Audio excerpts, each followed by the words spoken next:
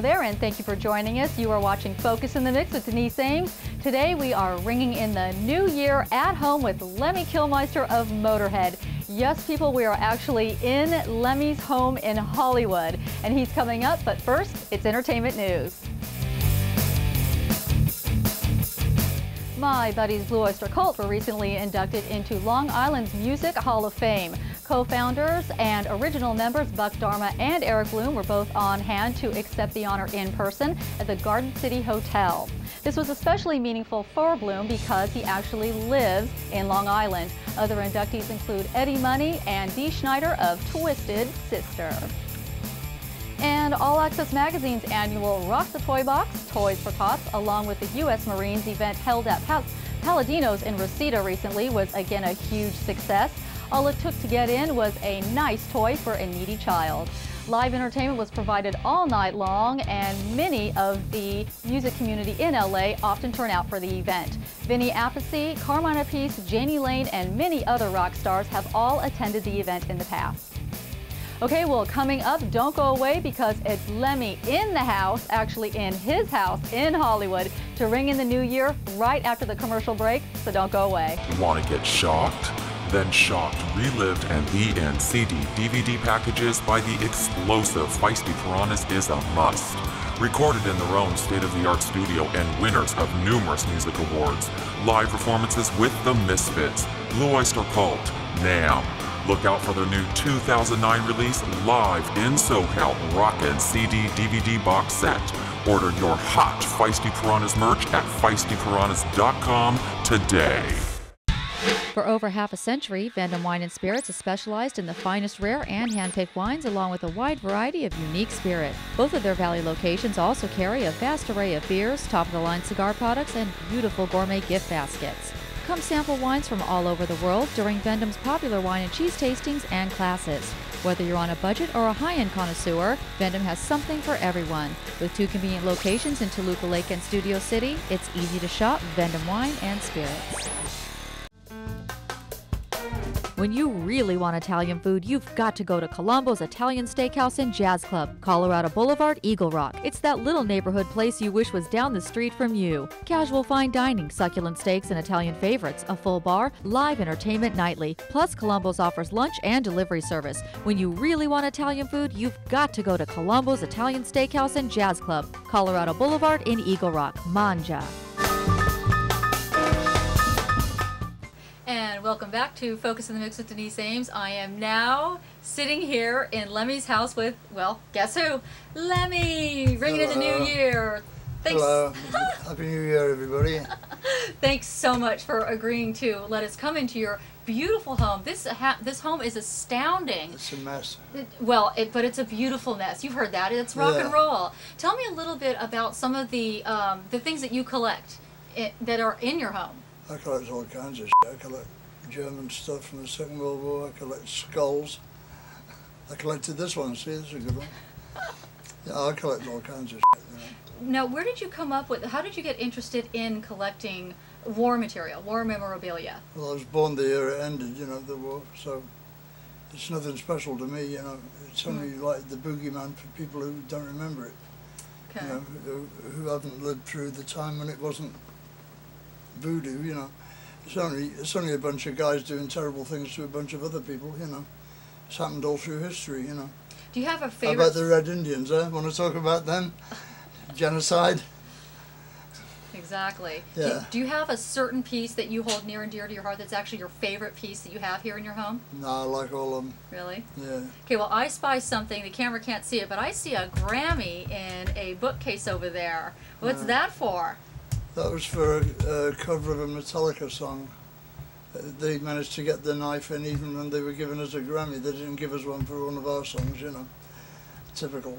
But you got one. Yeah, I got one, yeah. Okay, well, speaking of your songs, you're actually um, on a break right now from your tour Volcom 08 with the Misfits and other bands. Tell me what that's been like so far. Well, the Misfits didn't play on it, actually, and neither did Airborne. They both cancelled out. Oh. So it ended up just us and Valiant Thorr and The Year-Long Disaster, who were both great, you know.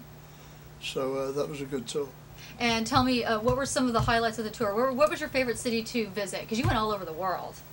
Oh, we went all over the States and Canada and We didn't go to Mexico this time. I don't know why. Still, um, the best part was when Phil hired a horse in San Francisco, and we went on stage during Testament set. Mikkey dressed as a Mexican bandit in front, and then Phil on a horse in a red dress and a pink wig, and me behind him sweeping up dressed as an Arab. It was hilarious. Oh my gosh. And. Chuck Billy's going, I'll never top this. Classic. now, let's talk about all your tours. I all over the world, where is your favorite spot to, to play and I, why? I really don't mind. It's, it's nice to see places, but as long as they go hooray, you know, I don't give a shit what the accent is. You know what I mean?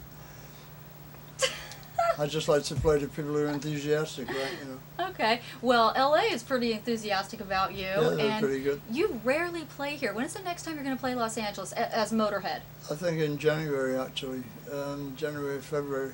Okay. I'm not sure yet. We haven't finalised it. And then so people can look on uh, Motorhead's MySpace, which is myspace.com forward slash Motorhead. I'm Motorhead.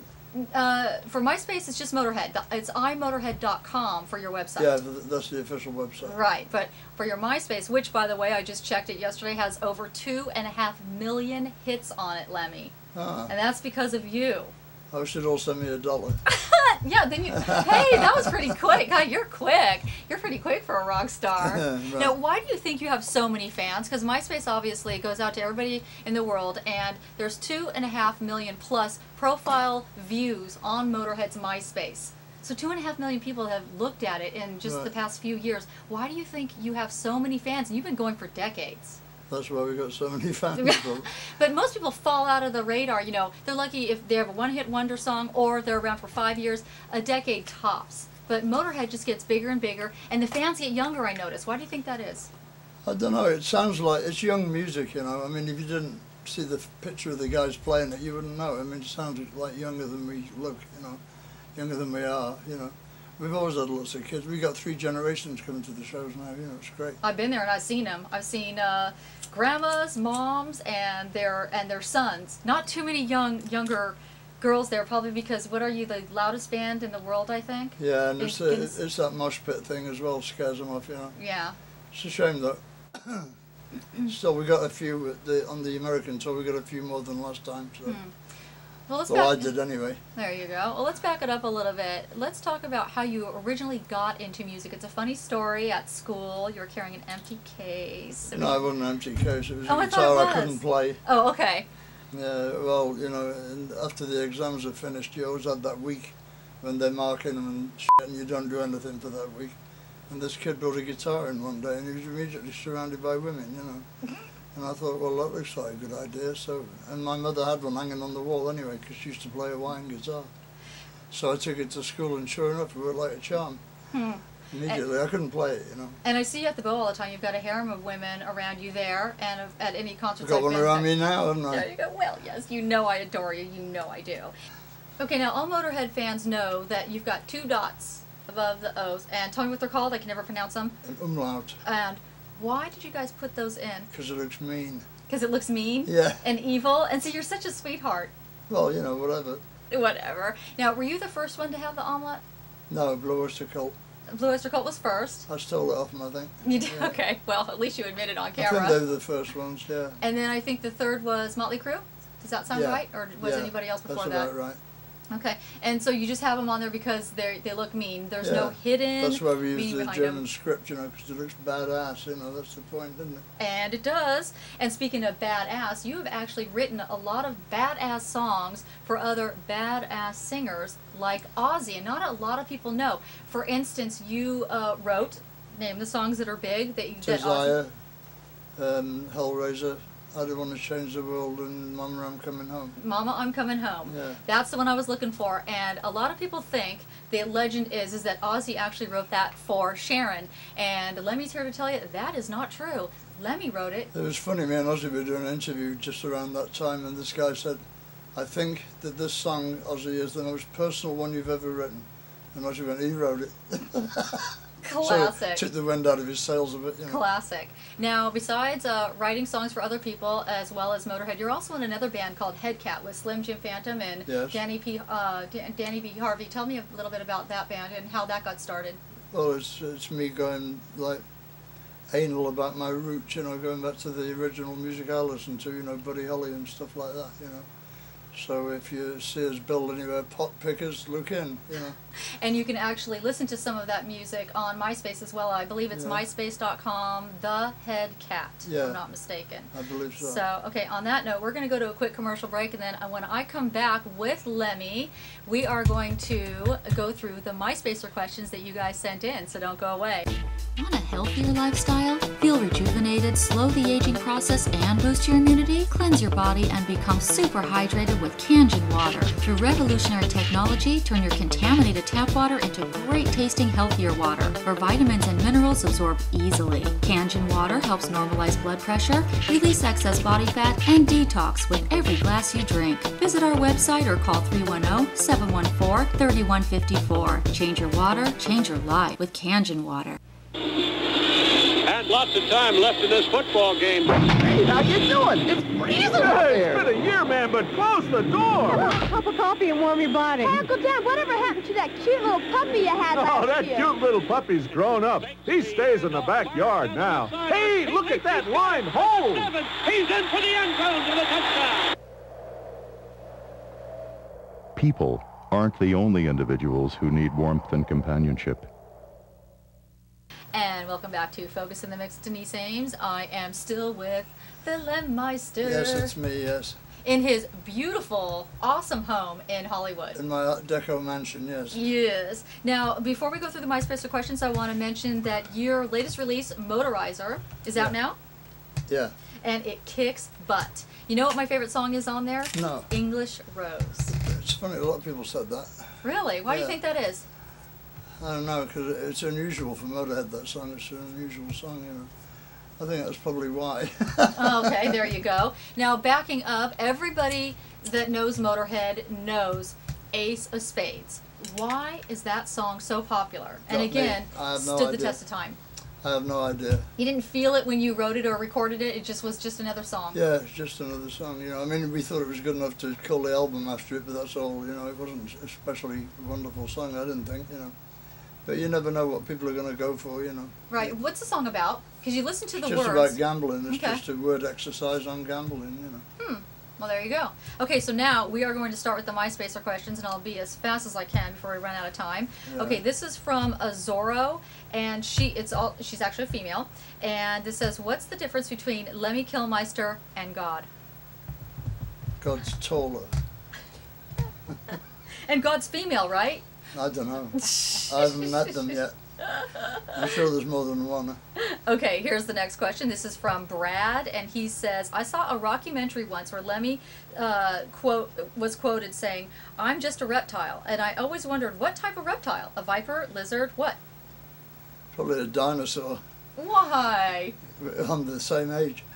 Uh, I don't know, you know, what kind of reptile? Snake, obviously, you know. A snake. Okay. mean, then lizards are lame, you know. Okay, that's fair. All right, this is from Paul in New York, and he says, um, could you ask him if he still keeps in touch with Fast Eddie Clarke, and if he ever ever plans on doing anything with him again?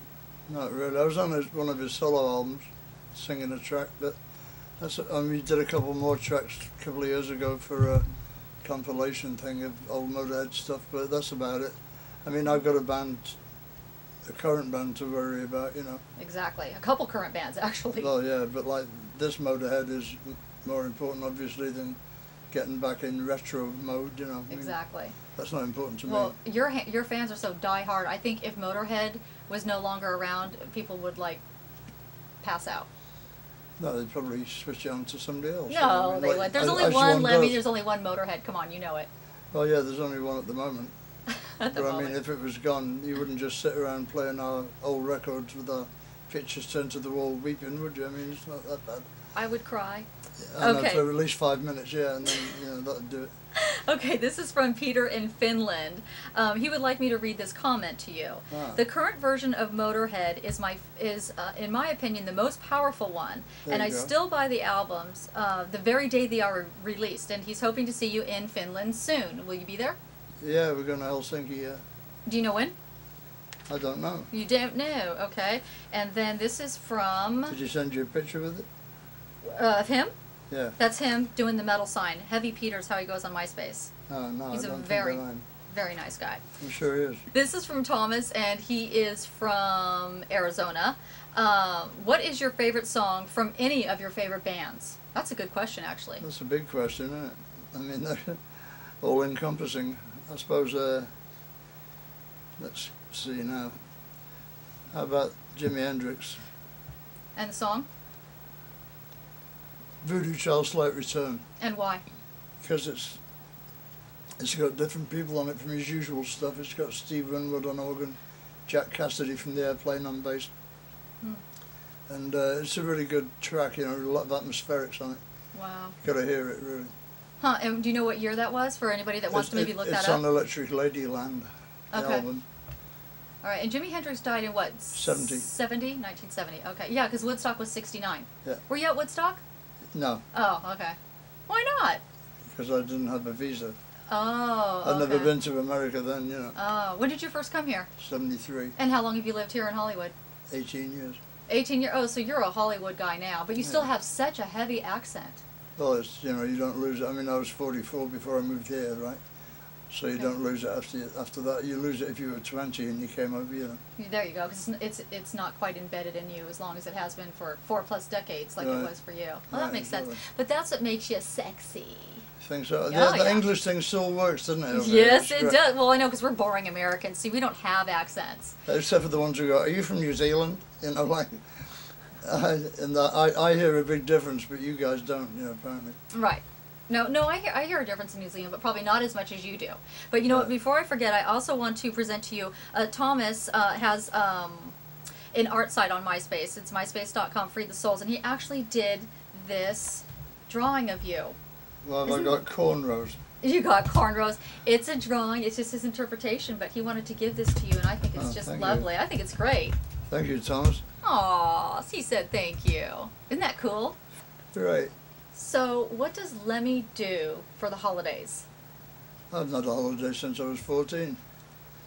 We're always working, you know. I mean, we've had about, what, three weeks off now, but that's it. I'm going back next week, so it was just a pause, really, you know. So, do you celebrate? What do you celebrate? Christmas? Is that My birthday's Christmas Eve, you get kind of, really? puts you off, you know. Huh. So, but do you celebrate wherever you are on the road, or is it just another day? Do you do yeah, something? it's just another day to really? me, yeah. I- I, don't really care, know. Okay. What is your favorite holiday? Favorite holiday? Mhm. I, God, I don't know. You talking about American ones or British ones? Eh, You know what? British. You're British. Do British. British ones, I don't know. One that you don't get, like Boxing Day. The day after Christmas, we have Boxing Day And why is that your favorite? because it's after Christmas.